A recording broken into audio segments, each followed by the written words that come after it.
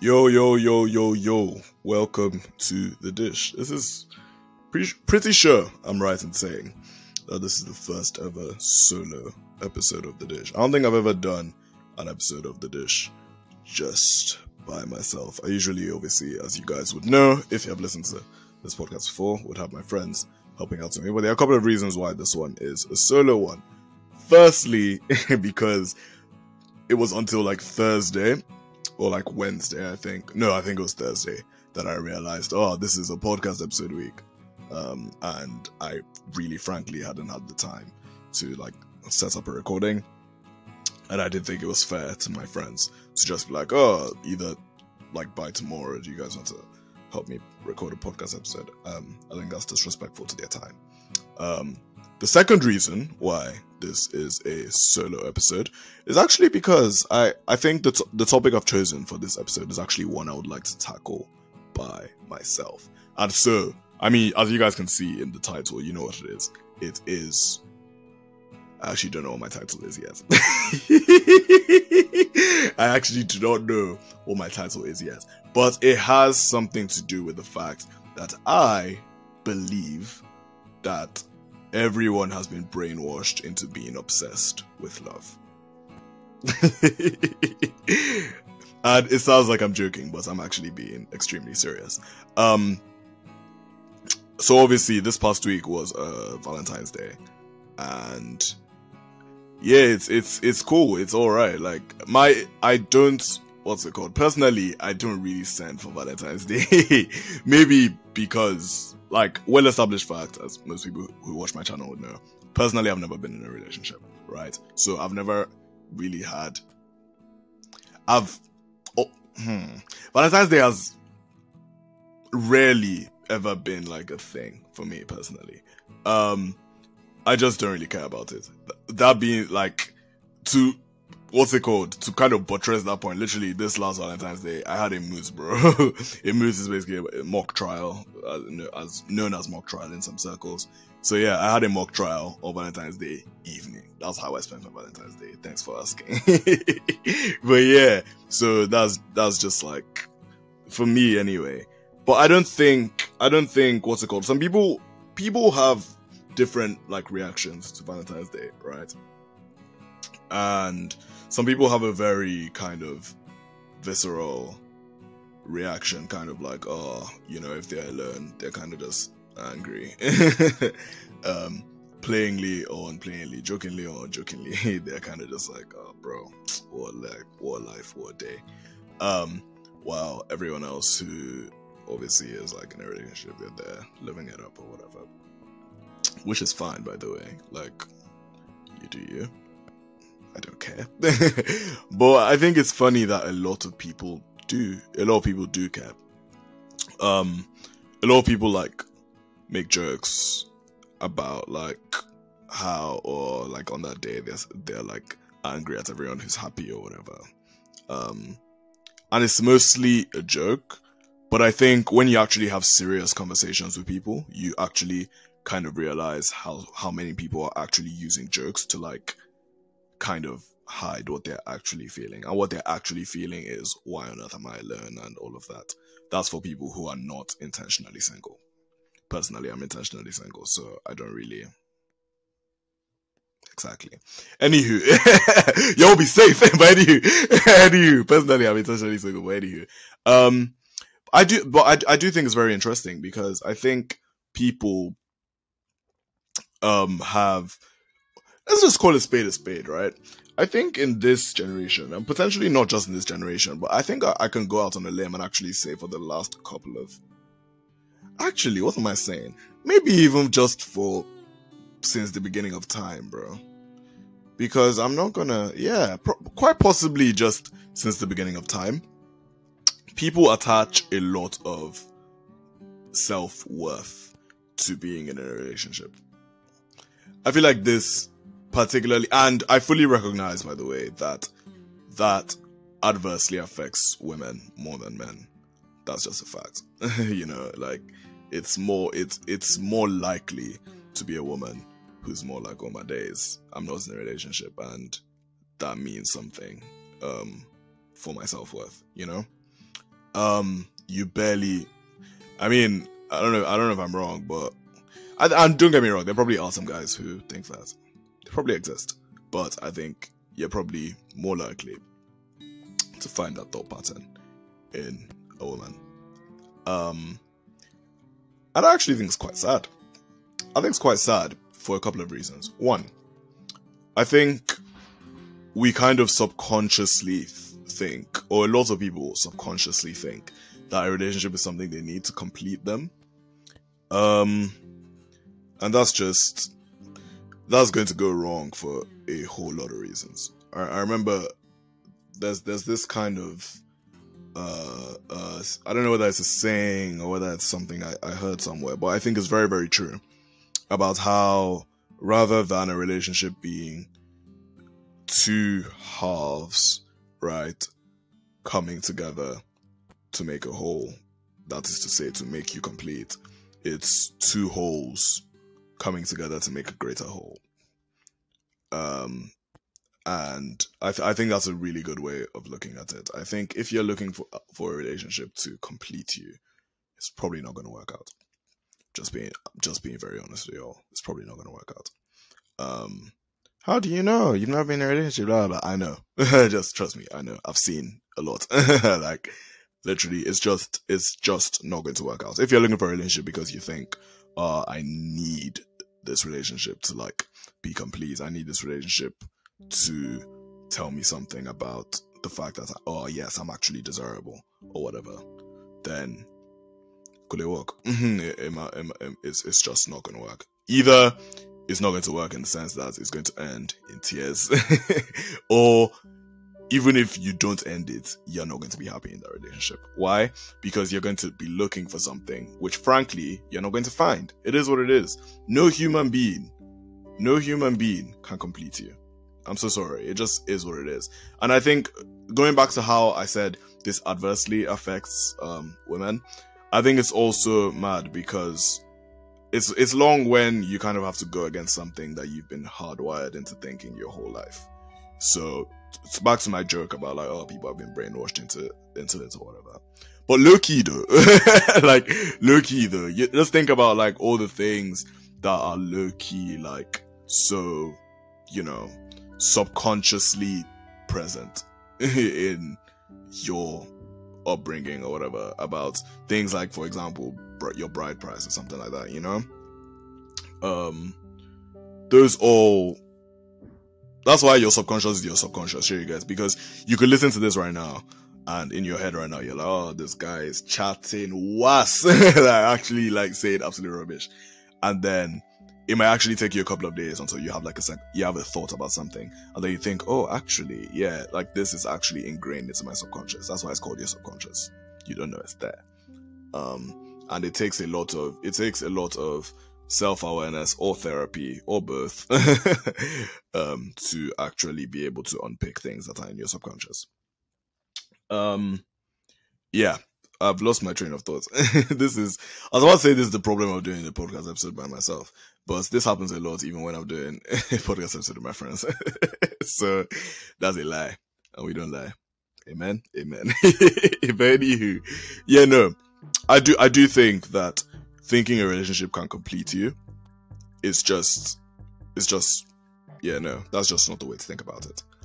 And i think when something like valentine's day happens um and you have so many people you know making displays of their affection or whatever and you're there thinking like oh my days i need this or whatever um then yeah that is probably symptomatic of you thinking that you need a relationship to be whatever.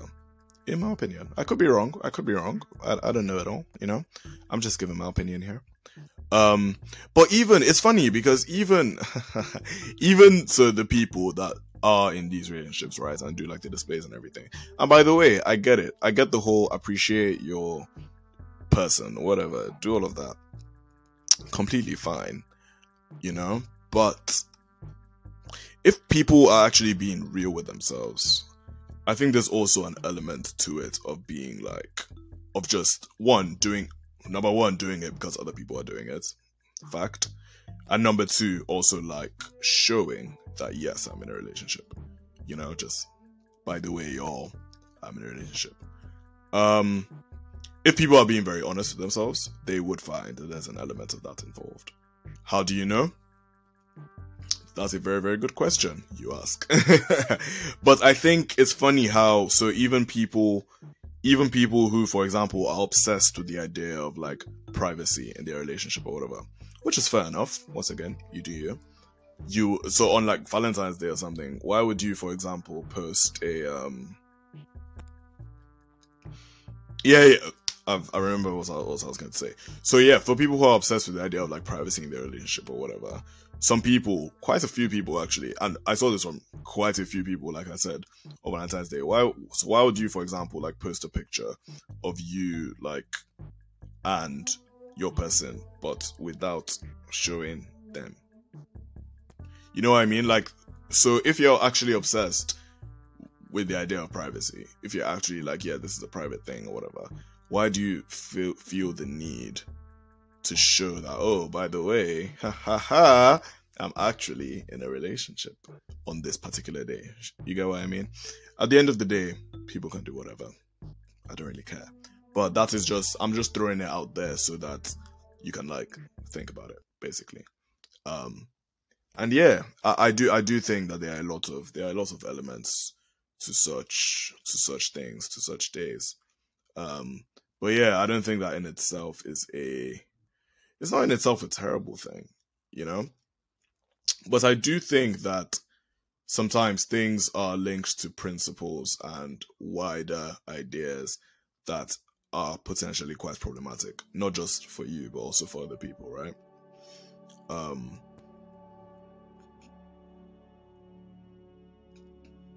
sorry.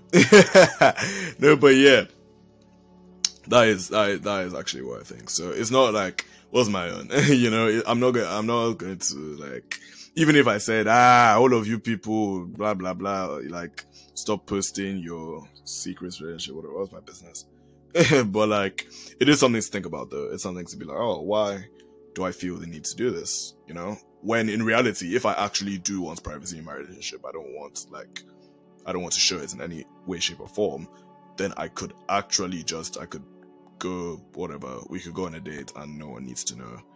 You know like apart from the waiter or whatever you know you could go somewhere you could just chill. But yeah I, I do feel like in this day and age especially because of social media people feel an, a need to kind of show sh- show show. Not even just relationships show things generally speaking.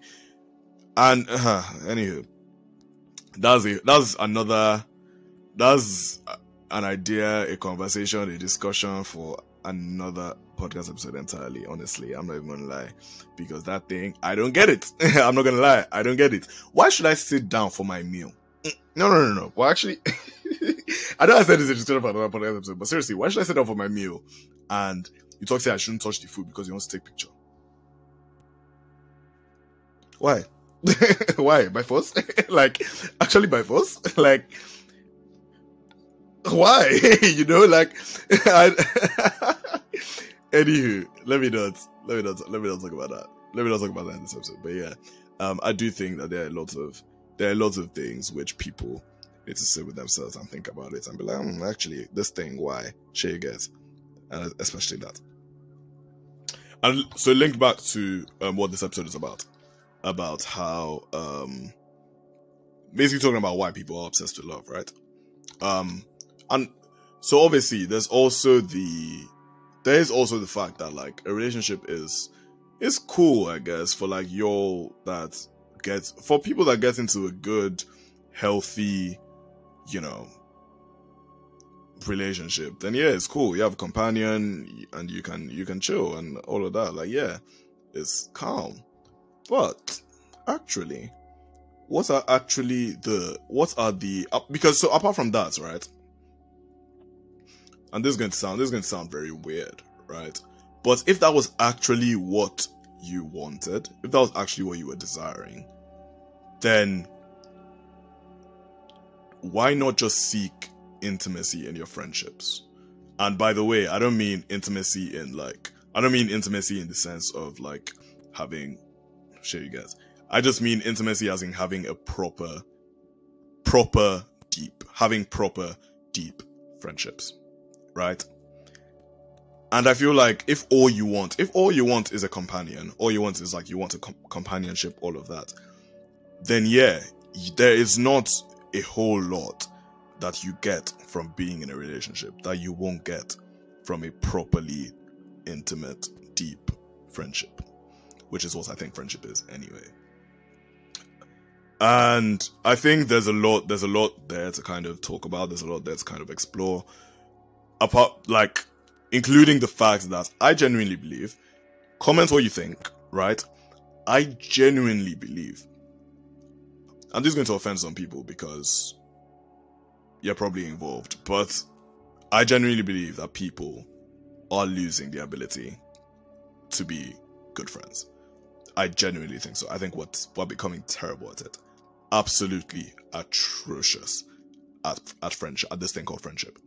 At this thing called relationships, generally speaking, I think we're becoming absolute absolutely terrible.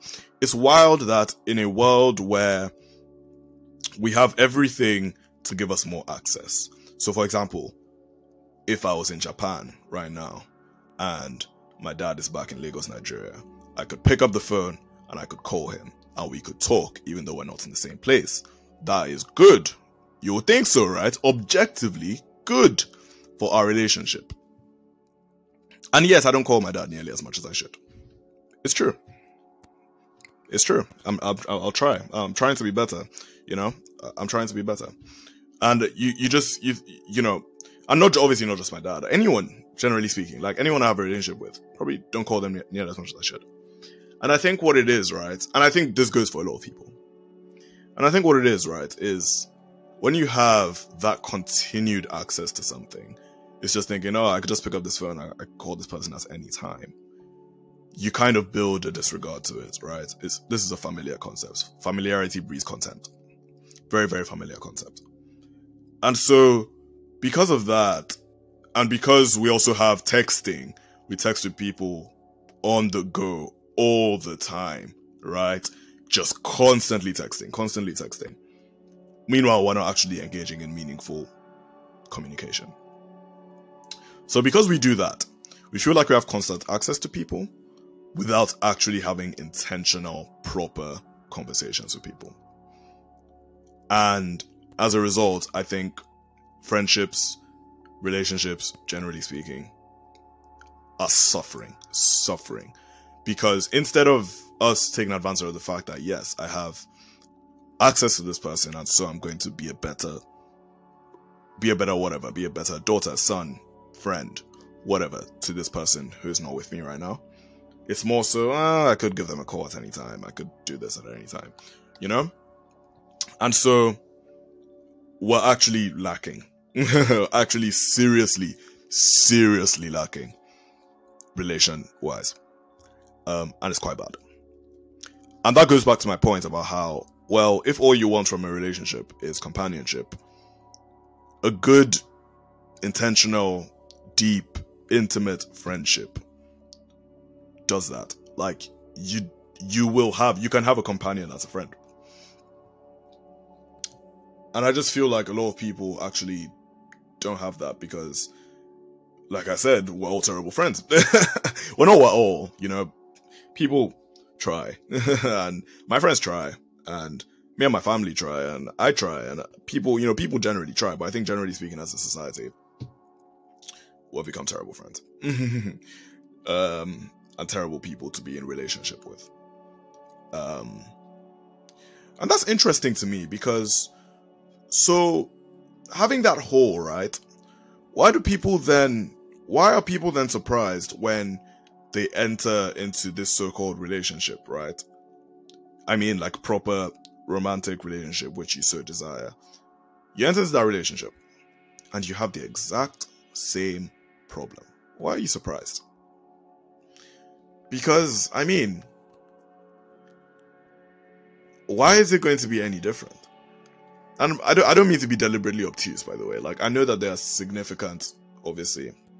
Well, At the time when you're dating, actually, not really. But anywho, I know that there are differences between a um a a a partner, so to speak, romantically, and a friend.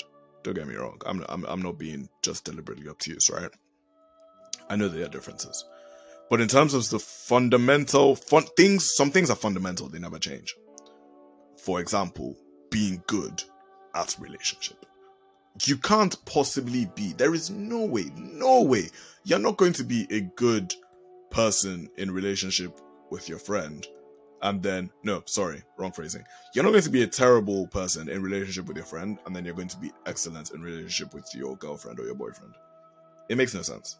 It makes zero sense. Why would you expect that to be the case? Why don't you instead put in the work to actually be good at relationship? And i don't just mean relationship romantic relationship right?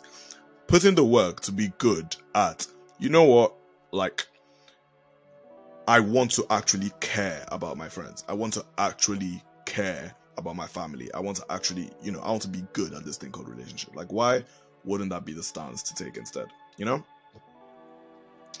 That's just that's just what I think. Because uh I think another thing about, you know, all the access we have is that we're really lazy actually. like, you know, I talk to people all the time who say, oh, I have an issue with reaching out. I have an issue with like sometimes people ask me like, oh, how do you how do you just like reach out to someone? And I'm like, what do you mean? And they're like, well, I don't know, like how how do you reach out to someone? I'm like, I think about them and then I reach out to them. And that's such a foreign concept to some people. And that's okay. Some things come easier to certain people more than others. Right? Point being, so why won't you then do the work to say, okay, I'm going to become better at this, you know, so that I can just generally be a better person to be in relationship with. Not in the sense romantically, but just a better friend, a better everything, okay? Why won't you do that work? And then, secondly, why would you expect it to be any different as to when you are then in a romantic relationship with someone. To me personally, that doesn't make any sense. I think if you're bad at a relationship, you're bad at a relationship. It doesn't matter the type of relationship, you're going to be bad at it. Um, and don't get me wrong, it doesn't. It's not going to be. Partic- it's not particularly. Oh, this is going to be an easy thing, you know. Cap. You're gonna have to actually be like, oh yeah, I'm I'm going to do this deliberately because I want to be better at relationship. And so when those problems arise in a romantic relationship, I'm not, I'm not surprised at all. You shouldn't be surprised. If you're a bad friend, you're probably going to be a bad boyfriend or girlfriend. It is what it is. Um, it, I, was, I was about to say it's not your fault, but it is. You could have put in the work to be better, you know. Um, and so yeah, that that that shouldn't that shouldn't be a shock. That shouldn't be a surprise. It shouldn't be at all. But then there's the other idea of kind of people who actually do like treat their girlfriend, boyfriend, whatever differently to their normal friends. And where you're kind of just constantly, constantly, like morning, evening, day, bro, every, every single minute of every day, you're talking to this person. And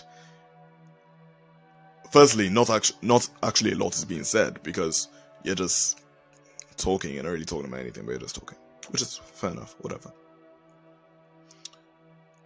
And I mean, the next question you'll ask is, oh, okay, so how am I able to constantly communicate with someone I'm in a romantic relationship with, but I'm bad at it with my normal friends?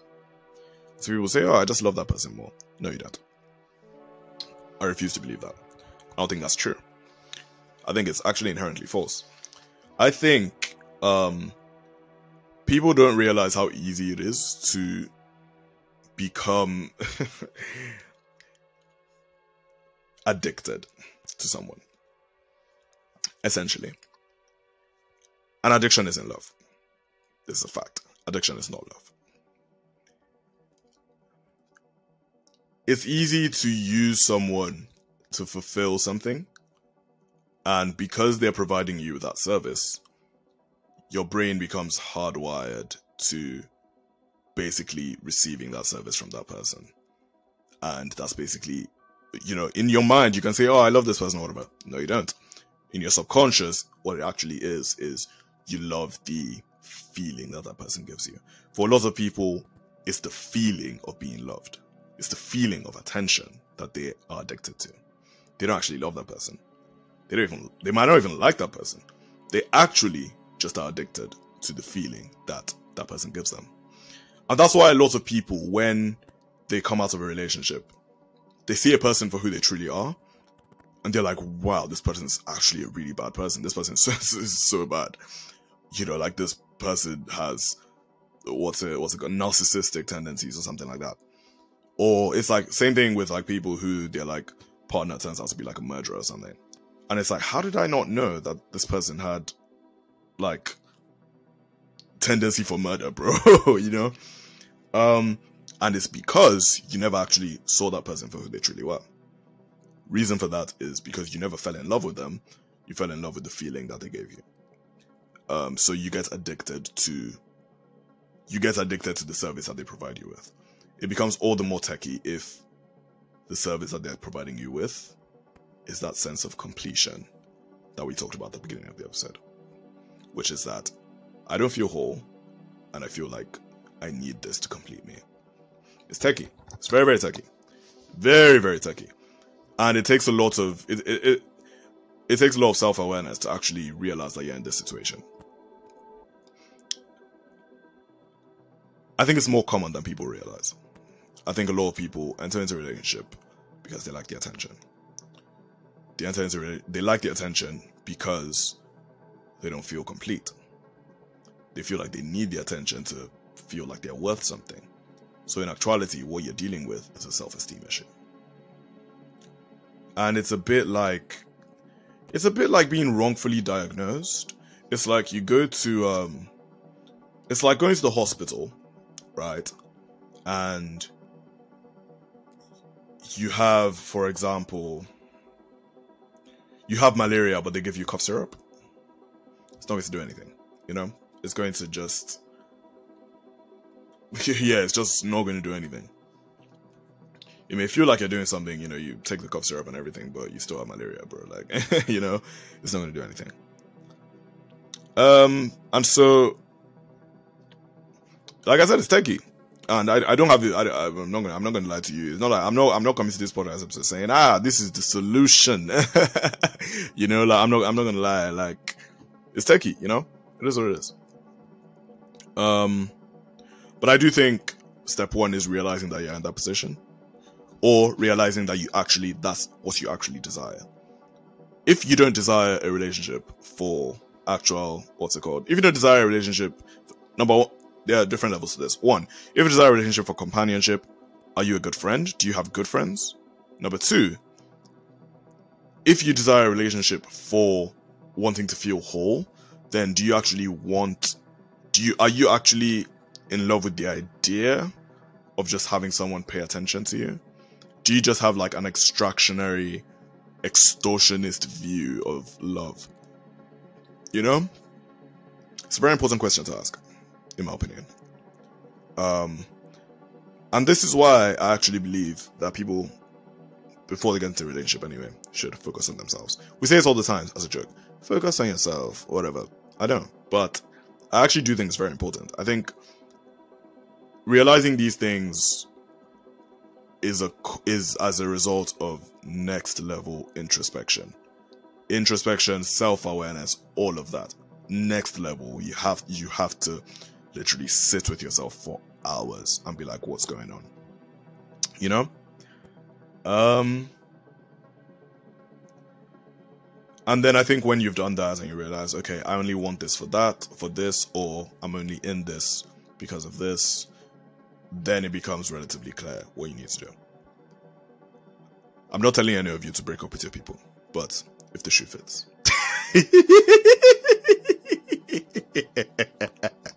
if the shoe fits. But anywho, nah, it is what it is.